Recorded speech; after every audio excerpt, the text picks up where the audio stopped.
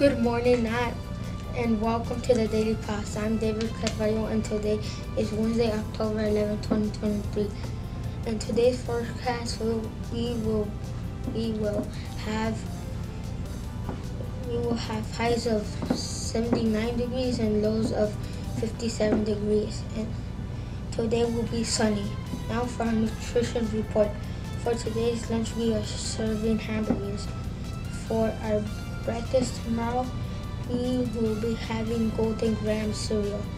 That is all for our news today, and we thank you for joining us and hope you see you soon. Bye.